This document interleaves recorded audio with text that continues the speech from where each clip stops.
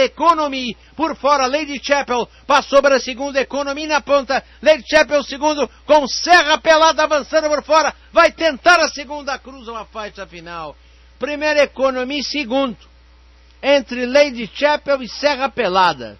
Depois Pussycat Doll, Única Raia, Marindiga e Assaltada. Anunciamos a vitória de Economy com Fausto Henrique. Vamos aguardar o placar.